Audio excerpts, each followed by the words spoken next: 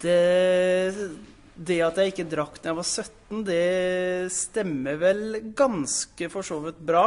Eh, på den tiden så var jeg profesjonell ishockeyspiller, så da gikk tiden min mest til trening. Så noe natterangling var det veldig sjelden tid til. Eh, jeg spilte på Stjernen fram til jeg var 24. Da fikk jeg en skade hvor jeg valgte å legge opp istedenfor å operere. Skaden kom i en kamp mot uh, Sparta, uh, det som er erkerivalen til Stjernen. Uh, jeg var nede i rundvante med pucken, og ene bekken kom mot meg. Og jeg så at han kom, prøvde å unnvike taklingen, men det ene benet ble igjen, så jeg fikk brudd på hoftebenet. Det var et tungt øyeblikk, det var det. men det er som jeg sier, ting skjer for en grunn, og jeg hadde ikke vært der jeg er i dag om det ikke hadde skjedd.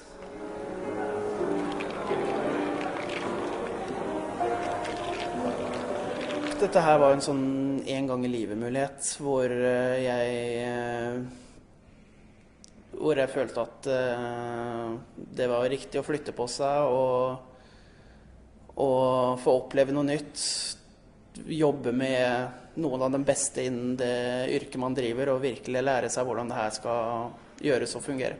Ja, det tror jeg kom til å få den jobben, for alle tenker jo Theatercaféen er jo noe helt spesielt som, eh, som, mor og far og besteforeldre og oldeforeldre og alt har et eh, veldig, veldig eget forhold til.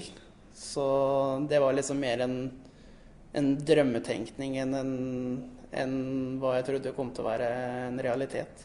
Uh, heldigvis så klarte man å trekke det lengste strået den gangen der.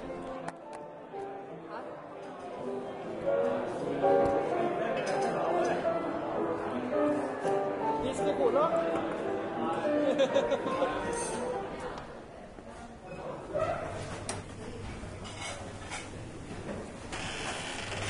Det her er uh, bourbon som er infusert med, med eller washa med baconfett.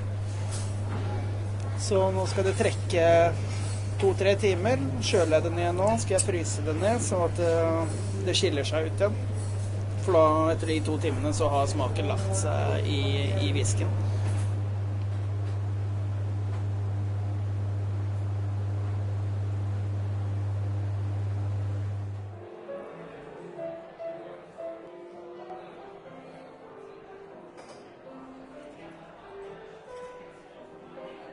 Det å komme på andreplass i World Class for meg, det var eh, Det var deilig. Det var eh, befriende. For jeg hadde, jeg hadde en liten incident året før som, i den konkurransen, som var min første konkurranse noensinne. Som, eh, som det ikke gikk så bra.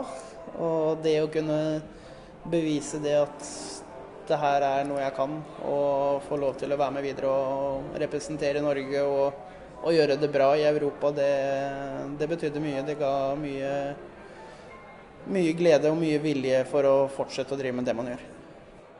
Målet der var jo å komme topp tre. Topp tre kom til europafinalen, og det var For meg så var det det som var målet i år. For det var det, var det jeg var klar for. Det, etter ett år med konkurranser, og du skal møte de beste gutta i verden, så det er som å stå på skøyter. Man trenger flere år før man klarer å hevde seg blant de beste.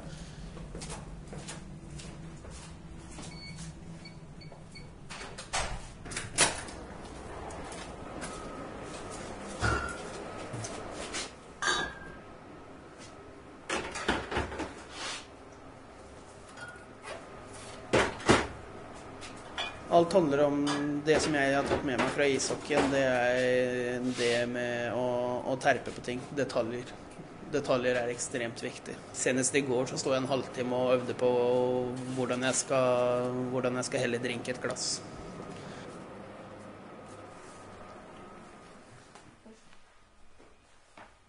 Når man har en kjærlighet for ting, sånn som man har både hatt for ishockey og sånn som jeg har for bartending nå, så, så, legger man mye tid og energi i det. Eh, både, på, både i arbeidstid og på fritid. Det er liksom